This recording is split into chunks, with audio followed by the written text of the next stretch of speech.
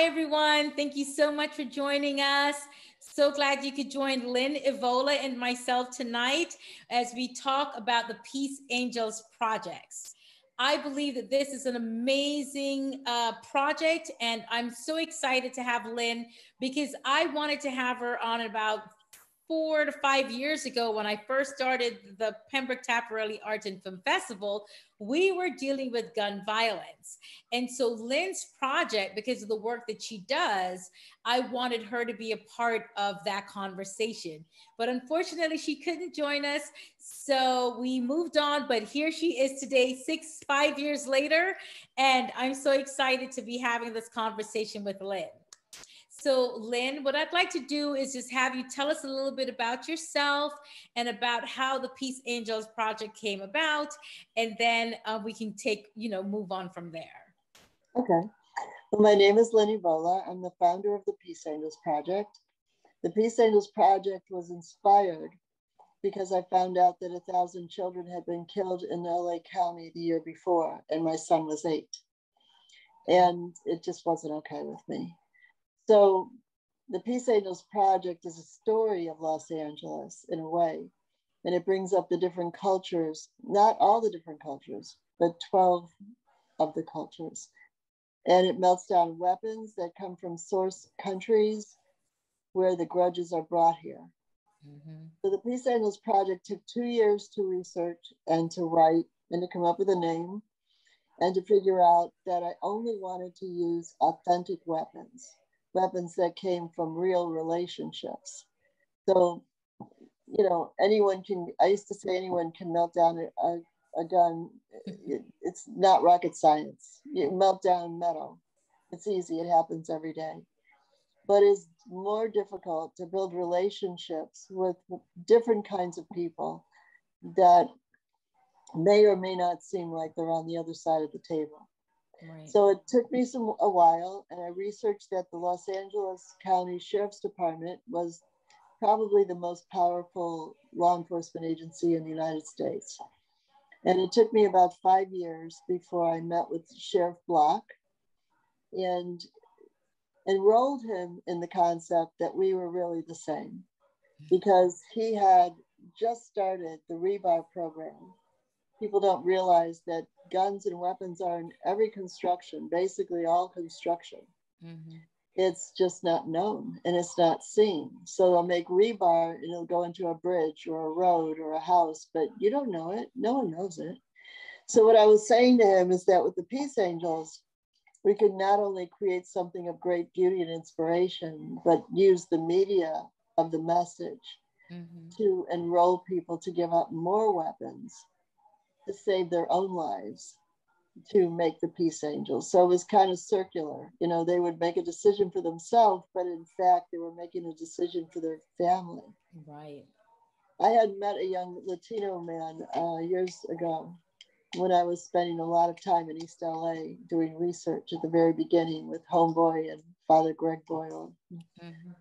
And um, I went to a restaurant, and I'm always drawing so I'm standing there drawing, and this young man came up to me. He was the waiter, and he had the tattoos and everything. And he said, um, "You're, you know, Lin Evola." And I said, "Yes." And he said, "I just want you to know that, you know, you saved my life."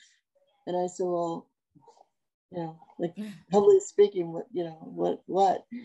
And he said, um, his wife was in school or working. He was in medical school, even though he was waiting. They had their kids in school. He mm-hmm. wasn't in a gang anymore. And that kind of turning point is always at the core of the Peace Angels Project, the way it is written. Wow. That is awesome. You mentioned that you started the Peace Angels Project in 1992. Is that yeah. when your son was eight at that point? Was that the point?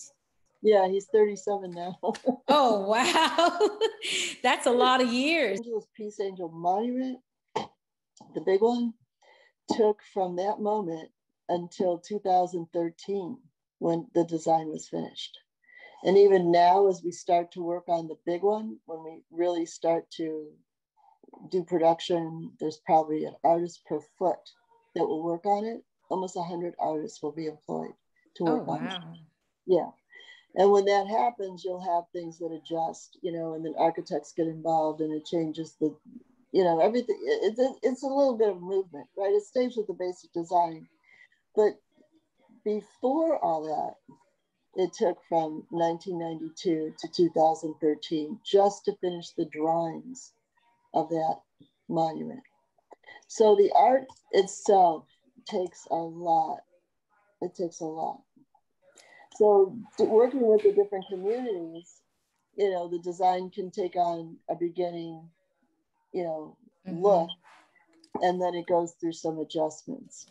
Mm-hmm how do you sustain yourself and your you, a lot of times with art and especially with this in, within the social justice movement it can be heartbreaking the the things that you see and the things that you encounter yeah. how do yeah how do you maintain your inspiration and your sanity within this you know that framework with within all the things that you see around you with humanity you know, that is the best question anybody's asked me in a long time. I have to tell you, nobody asked me that question. And I used to tell friends at the UN, I can jump in and I can be here for a week or 10 days, and then I have to get out because you can't, I can't comprehend the pain human beings cause each other. Right. So I have two things that save my life. One is, you know, people I love, you know, mm-hmm. being in interaction with them. And then I make art, and I make a lot of art. I don't know if you can see behind me the peace signs. Mm-hmm, mm-hmm. The decommissioned nuclear stainless steel. They're the only peace signs on, you know, that I know of that that have that. And so making the art and people I love are basically the most important parts to me. Yeah. Yeah, it is hard though. I, I I'm thankful that you asked that because there were times, you know, years ago that I almost quit several times just mm-hmm. because of that reason. Right. And, and now have you talked about earlier about being a material girl. And about and you know with art a lot of times the, these are the compromises right? Or these are the sacrifices that we sacrifice um, financial success.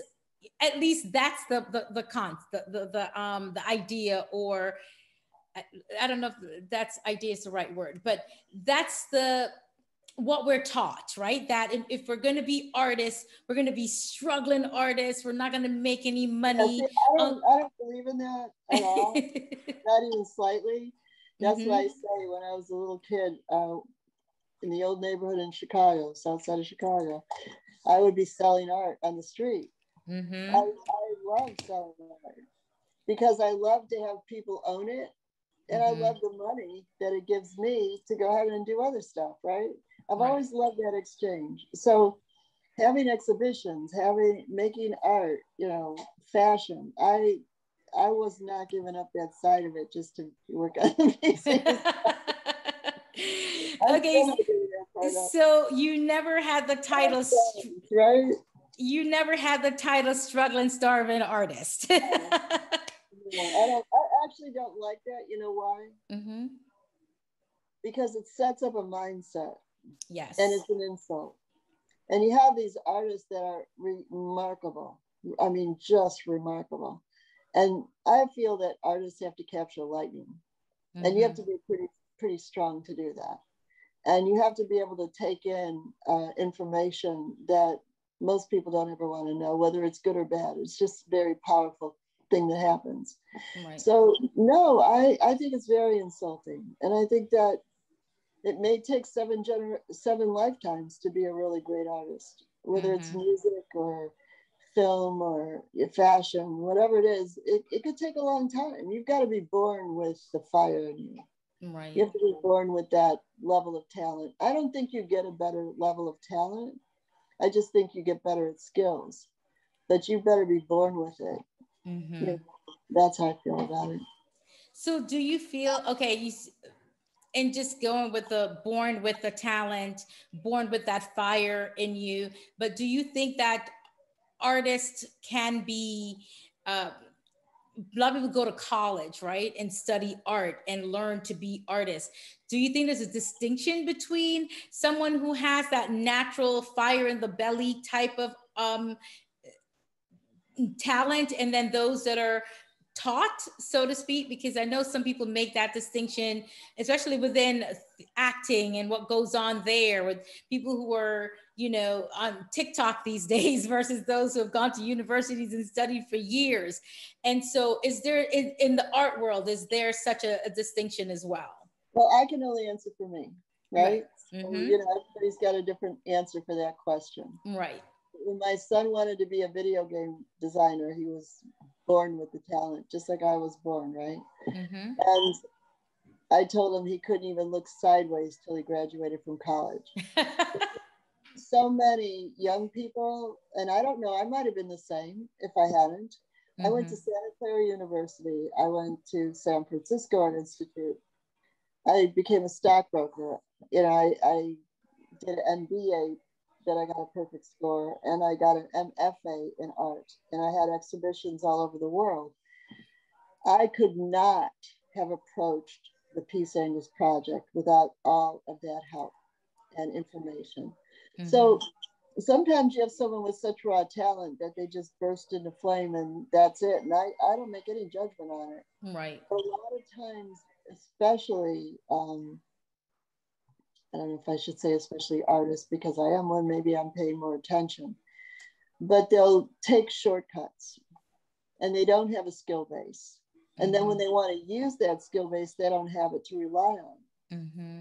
Like what I saw, um, I was at Santa Clara University. My uncle was the dean of the school.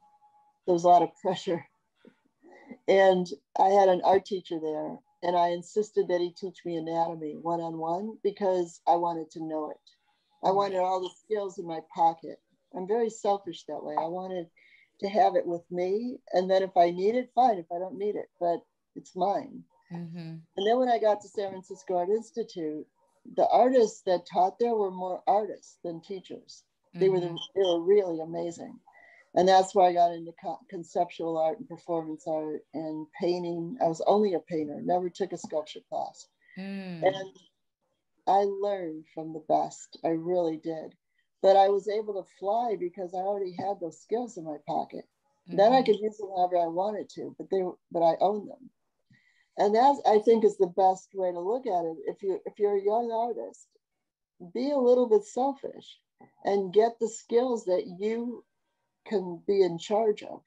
And then you can decide if you want to use them or not. Right. You know, but don't be at the effect of somebody who tells you that your first abstract paintings throwing paint on it are glorious. 10 years from now, I, I'm not an art teacher, but I'll tell you a quick story. I, um, during my MFA program, I had a wonderful artist that I worked with. He was brilliant. And like a lot of the artists, they would give their assistants you know most of the work to do because making art. And um, yeah, it was my job as a, a, master of fine art. They only accepted like 800 people a year from the whole mm-hmm. world at most.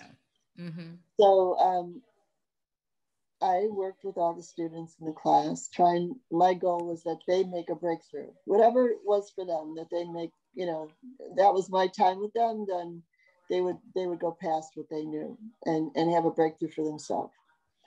There was one man in the class and he was you could tell he his family was suffering because he was in there. He made the same drawing over and over again with these horrible little squiggly things in every armpit and every dark section in the body right? And I helped everybody, but every time I got near him, he would get really grouchy. And I knew that meant that he just wasn't ready. So I ignored him. And at the end of the class, um, Carlos Villa was the artist's name, told me to give everybody some homework, which I did. And the room, everybody was humming. Everybody was doing great, really, except for this one guy. He started yelling. And I started smiling. And I looked at him and I said, Are you ready? And he said, Yeah. I said, All right. I said, I want you to break every pencil you own. So he had to stand there and break all the pencils. I said, throw every single piece of that horrible paper away, throw it away. and he did. And then from the class, I asked everybody, I said, now give him new tools, give him pencils, give him smudge, you know, give him papers, you know, give him stuff. He took off like a rocket. He, he ended up being the best artist in the whole class because he reached his place where he couldn't go further with what he knew. Mm. And he broke mm. through. And it was brilliant to see. And I love to see. One of the things I look most forward to with this project is hiring a lot of artists giving them jobs mm-hmm. and use their skill base and let them fly. You know, that's we the, our culture is really strange right now. Um, we diminish what the artists have to say. We ask for a commercialism that's just too low a bar to tell you the truth. Yes. All kinds of prices on it that don't make any sense to anybody. And there's too much relying on dealers and galleries and not enough on the studio and the actual power of the artist. Mm-hmm. So I'm looking, you know, I'm really looking forward to this. I really am. You know, I I love what you're saying, especially the fact that you're you'll be able to have so many people work on this one piece. You know so many people put their voice forth. I think that is so amazing. I would have you know i would when you think of art you think of it being a solo experience. Yeah. the artist with their tools and they draw but what you're doing is getting a lots of people in so that's amazing i really i really like that and it. and will that be all the the angels that will be um, built in this way we're only working on an 11 footer. I mean, basically, oh, okay. This, this is a silly, but it's a kind of a yardstick. Basically, at the foundry, there's about an artist per foot. Mm-hmm. So if you mm-hmm. have an 11 footer, it's not, you know, it's 11 artists, maybe right. 20, right? Different skills. Mm-hmm. But once you get to the big, big, big monuments, yeah, then you're having a team that's working two, three years on one monument. Wow. And because of the actual project, which I don't know how much I've, I've sent you an information. The other part that I love about this is that there's many ways to come about the art that all is important in order to create it. Like these weapons guys, right? To give us the weapons and the shippers and the people who have to store this, the people who break it and destroy it, the international contacts, the mm-hmm. national mm-hmm. contacts, the politicians involved and the accountants and the lawyers. I mean, right. we've worked now all these years, and the team is very stellar, very tight group of people. Mm-hmm. You have production managers that do nothing but work on museums that are working with us. Mm-hmm. And so I started off in Los Angeles, but because at the time, 1998, there was no founder here the art foundry um, that I found was because Jeff Koons did a, for, a Louis XIV bust, mm-hmm. and it was at LA Louvre, and it actually had facial features and details. And stainless steel was created for linear use, for architecture, construction. It's the hardest metal, but it was made for straight line use. So to have the facial features and the details with a straight line metal is such an oxymoron that it will blow up furnaces. So I had to go to New York because Polich Artworks, Polich Tallix, I think at the time, was in New York. That's mm-hmm. why I went there. Now the young guys that have purchased that foundry are from Australia and they have Australia, New York, Shanghai, Singapore. So there's foundries now all over the world that I can mm. work on. Oh. But the oh. guy here, Landon Ryan is his name, really nice guy. Um, his foundry is very small. He can handle the 11 footers, I'm sure. Mm-hmm. But the big 64 footer may have to be done in New York, or we'll figure out some kind of combination of things. But right. The skill, what I'm trying to say is that over this time, even the art world couldn't have done it at the beginning right. of this project. Right. Mm-hmm. Now, let me ask uh, you, you, mentioned the foundries, you know, all over the world. Now, tell me a little bit about the international aspect of the Peace Angels project. Um, how do we take this interglobally? Well, this is the thing I always say, right? Los Angeles is the United States of the United States. People have come here from all over the world. It's true, but people have also come here from all over the United States. Mm-hmm. And what happens when you bring people is you bring their grudges with them. So you bring their talents, but you also bring their grudges with them. Mm-hmm. Those grudges came from somewhere. They came from what I call source countries. To, so to do echo sites in those source countries overseas mm-hmm. takes going there. So, say for the Sarajevo Peace Angel, I spent a good deal of time in the Balkans after the war. Again, it, it refers back to what you, you said earlier. It was one of the times I, I could have easily quit, mm-hmm. uh, very easily quit.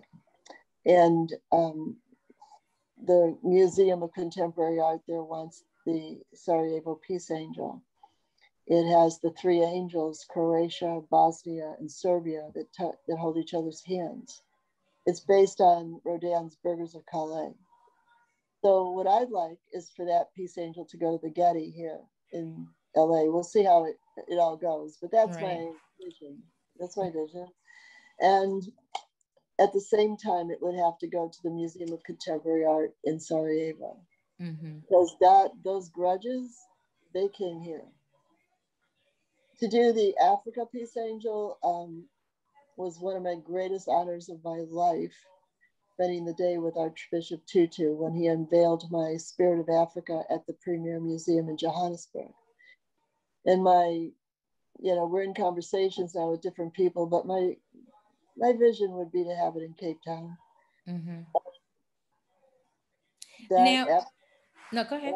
Peace Angel, though, would have to bring in weapons from the continent of Africa as well as, you know, uh, LA. Mm-hmm. You know, talking about the weapons portion of the the monuments and the statutes, will each community that gets an angel will that the weapons come out of those communities as well, or yes, okay, yes, yes, very much so. The it's important to me two things besides the actual art, right? We already covered mm-hmm. that part. I spent right. years in one, right? But the two other parts that are not negotiable is that you have to have the enemy weapons of the place and you have to have the site that means something. Mm-hmm. So, like in Kashmir, the India Peace Angel in Kashmir would include Muslim and Hindu weapons, but it would be the site that would be have to be agreed upon by two warring groups that disagree on almost everything. Mm-hmm it makes the sites much more difficult, but much more provocative, more interesting to me. Because I don't want it, you know, on Joe Blow's lawn. You know, I want it to do something. Yeah. All right. So, with that said, which I did not know, um, when you think about LA and you think about where you're planning to put the Peace Angel in LA, let's say, are we thinking um, an area that has the Crips and the Bloods and the the disciples and the varying gangs? Um, where they all kind of culminate or is that a part of it or is it just people who have been you know killed by guns and things of that nature well, each of the peace angels has a very strong narrative. Mm-hmm. Under each peace angel will be a 10 by 10 foot labyrinth that has the carving of the story of that peace angel. Okay. The story is really important, right? So the Crips and the Bloods gave weapons to the Peace Angels Project in 1997. They were part of our, our unveiling of the Renaissance Peace Angel. And go moving forward now, we have a church in South Central that we've been in conversation for a while. Mm-hmm. And they would like to um, work with us. We want to work with them and bringing forward 600 churches to ask for the community to give up weapons for their peace angel. Right. So, yeah, each one of these will be a story and weapons indicative of that culture and the, the things that are most important to that culture independent and connected. So say the African American community and say we we you know request these weapons and they're collected and we forge the monument and it ends up at the California African American Museum. I would have to work out something with the museum that people can go see it. We'd have to okay. something out, right? Yes. But then we get to the big monument, the 64 foot monument, the story of the African American community will be integrated on the labyrinth that's 100 by 100 feet. No, not 10 by 10, but 100 by 100 that integrates with all the stories of all the neighborhoods. So okay. it's the microcosm and the macrocosm. Okay. And now, when I think of, you said there are 12 sites. Can you talk a little bit about maybe another community outside of the African American community where Peace Angel will be commit, dedicated to that um, community and where those weapons will be coming from and what would be that story?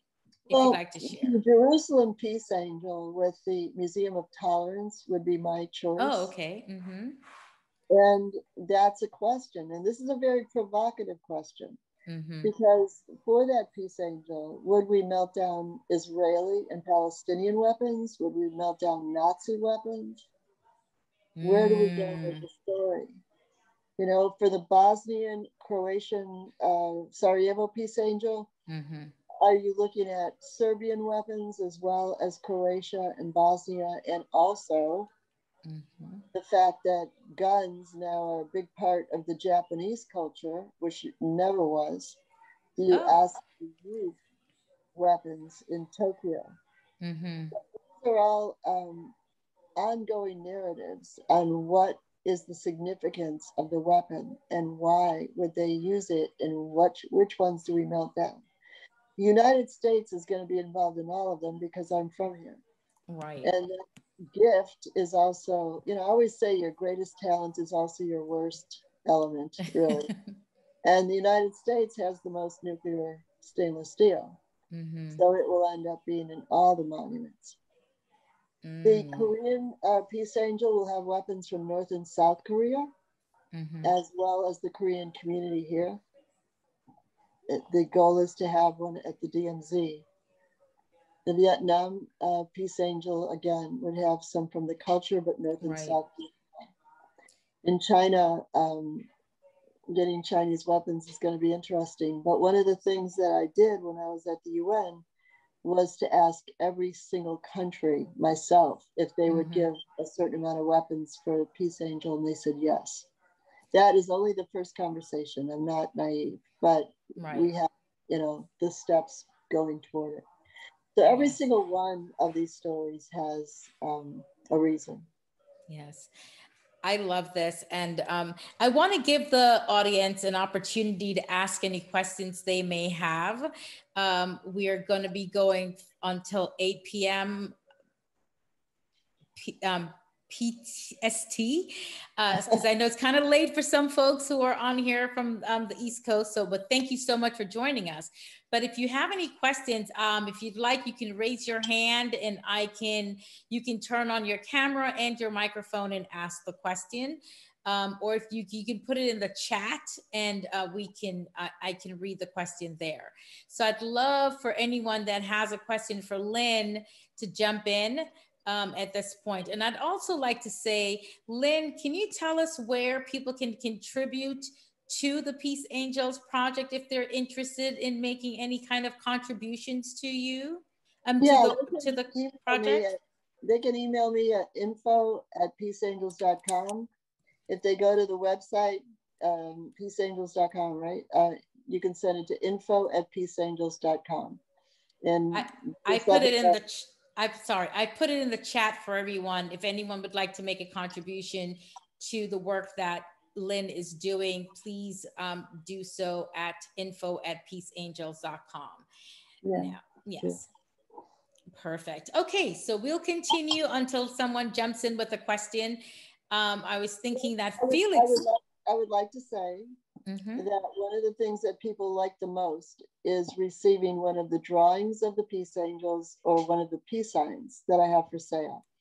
And all along the path of the Peace Angels Project, it's been collectors who did that that actually funded the Peace Angels Project. Mm-hmm. And so we have beautiful drawings of all the Peace Angels. You can purchase a sculpture, but it's a lot more money. And then the Peace also have the decommissioned nuclear stainless.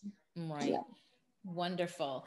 Now, let me ask what you mentioned that you've been working on the Peace Angels project for a number of years, but in between, um, you've also been doing your art and selling your work and, and doing shows and exhibitions and things of that nature.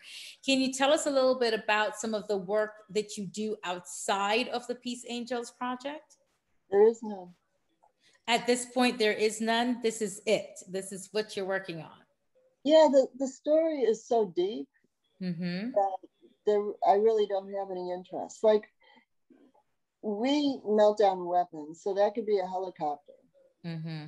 mm. we i make weapons blocks they could be as big as your hand or as big as a building so the story and the weapons and the images are so powerful to me i'm just i'm just 100% in it we did i did some beautiful flowers like um, years ago i did some research obviously on israel and golda meir had taken people from the holocaust and put them in these places that looked like the holocaust right? Because mm-hmm. they didn't have any homes built they didn't have anything. And she found out six years later six years into these people living in these places that the children there had never seen a flower Mm-hmm. And it started this whole thing with me to draw flowers and include the weapons metal. So I have these this series called Leonardo's Flowers that have um, the weapons metal in them, kind of almost dedicated to these kids. Mm-hmm. So I don't. Um, I have so many things that I have to say and so many works of art. Like, if we have a minute, the sputtered pieces. Mm-hmm. I had made that promise to myself early on that I would destroy the weapons to the molecule. So I found a process in 2013. It took a while to create these beautiful mirror-like surfaces that could have photography in it, right? It could mm-hmm. have images of people or war, conflict, peace, build, create, the five movements of man. Um, but you'd also see the viewer. So you'd have a huge room full of these super mirrors that are made of the most powerful weapon on earth. So who is a a person that you admire? Who's someone you admire? Me personally, Malcolm yeah. X. okay. So say we had a gorgeous photograph of Malcolm X mm-hmm. in as a portrait of a humanitarian, right? Mm-hmm.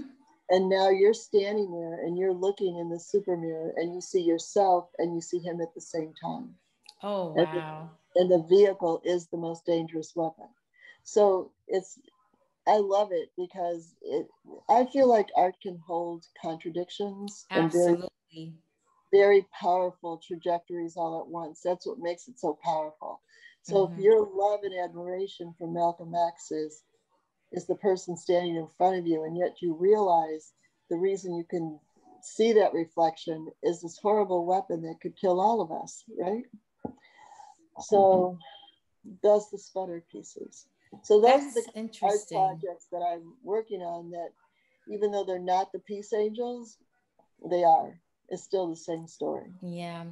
That's really interesting because, you know, when you think about when you talked about that image, for me, it was this is someone that was at a turning point in his life in terms of how he saw the world and uh, what he thought we could do as humanity. And then he was taken by gun violence. Right. You know, that he was at yeah. that place where he was changing and, you know, moving in a different direction in life. And then the gun violence came in. And a lot, you know, if you think about it, except for a few of our heroes, most of them were taken by gun violence. I know. Yeah. I know so that you know a lot of people you know were taken through gun violence or just violence in general um you know so that's deaf this is that's a really interesting um the sputter pieces are very interesting that respect. around the monument the big monument downtown mm-hmm. outside of the labyrinth that tells the story of los angeles will be the weapons blocks that have the names of everyone we've lost mm-hmm. Yeah. Oh, I love that. Okay, so we have a question from Alan Edmondson. He says, I take it you know Alan. Okay, he says, Thank you for your amazing vision, Lin. Mm-hmm. Now that you're located in LA, how do you see the tone there in terms of openness to the bigger vision especially during this time of transition from the pandemic to recovery? Love that That's question. really good question. So Los Angeles is starting to open up here now, right? And mm-hmm. the one thing that I kept working so hard on this last year was to get the Peace Angels ready so that as people came out of this, they could raise up with a level of hope with the Peace Angels in front of them. So what I think is is important is to um, connect now with everybody who wants to work on the Peace Angels project. Like since I got here, the very first site, and I hope I'm answering Ellen's question, but we can go back to it if I'm not, mm-hmm. um, is being requested. We have two groups that have come in to volunteer to start helping us actualize the Peace Angels, both in fundraising and parties, like maybe Zoom, who knows, with COVID, right? But different ways of communicating the Peace Angel message, including yourself, mm-hmm. um, to start to get this out now and get this completed. So I think it's it's a perfect timing in the openness of the community and what's actually happened to us in the pandemic. And to Alan Edmondson, uh, I always think the Peace Angels Project is a climate change project because it deals mm-hmm. with mm. recycling at a very big level. And we have, in order to take care of our world and each other, um, we have to recycle the violence. Right. Mm. Interesting. Um, okay, let me see. Does anyone else have another question? Okay, Lin, so we have uh, three minutes. Would you like to tell us anything, or is there anything that you'd like to, us to know about where you're going with this project and how we can support the work that you're doing? Thank you. Um, yes, right now, Los Angeles, that's what we're talking about, is beginning the very first Peace Angel creation, production, everything. We're going to start with the LA Sheriff's Department taking the photographs and being in the media, showing the weapons, the guns mostly, that are being given to the Peace Angels Project. And we're going to start a request for weapons in all the communities throughout LA because this last year caused so much fear mm-hmm. that the gun sales went through the roof. So we're hoping that now we can ask people for weapons. We're mm-hmm. going to ask people for contributions to, in order to produce the art. It costs money. We have jobs to pay. We pay people to work. It's not mm-hmm. volunteer to work. So those two ways really help. Help mm-hmm. by volunteering, help by giving money, give your weapons. If you have them, give them. Right. Now, you know, I, I forgot to ask this question, but just to just wondering, have you had any conversations with the NRA or has there been any pushback from the NRA or the- no, no, no, actually, I don't know if we have enough time, but I'd like to answer that question. No, the please, please do. Project is about saving lives. Right. And period. And we stand in the middle, like I said, between the social justice and the weapons dealers the conversations I had with the NRA at the World at the United Nations were very positive, believe it or not, very positive, because what they were talking about was responsibility. And my question to them was there's 23% of young people in this country that have already said they're going to carry weapons. Mm-hmm. What are you, are you mentoring these young people? Is there training? Can you, you know, there has to be responsibility. Right. Especially with young men with older men they have there has to be some responsibility here. And to have total chaos by saying there shouldn't be any weapons when there are uh, doesn't make sense. Right. so you know I, I think it goes back to having respect for each other. We have to learn to have a little bit of respect for each other and to know that maybe that other person learned something that we don't know but that goes on both sides. It's not just yes. one. Mm-hmm. Absolutely. Absolutely. Um, um, I, I just wanted to say I, I didn't have a question so much as I have a comment. One thing that really strikes me about this project, hearing it again um, this evening, is how it um, uh, touches our commonalities that I think is so important, could be so important to us right now. Mm-hmm. Um, uh, you know, I, I'm in Washington, D.C., and um, uh, witnessed what happened on January 6th. And, mm-hmm. you know, and then um, I uh, at the time of the riots in June, I was a block above Hollywood Boulevard, which is where I lived at that time. And mm-hmm. um, uh, our there are so many divisions between all of us, especially in America and across the world. Um, but what I enjoyed about hearing this um, about what Lin was saying today is just like race and class and um, so many divisions we can all raise between us fell away in the commonality of suffering that we inflict upon each other um, mm-hmm. and, and how insane and absurd it is. And Lin, um, before I forget, I know a member, I know a, um, uh, a former president of the board of NRA, um, and I think he's still on the board. And um, he's a, um, I am very friendly with him. He's actually a very nice guy. Don't let me forget to um, work that contact for you. Okay. Um, Excellent. Um, because uh, the NRA needs some good press, shall we say? Mm-hmm.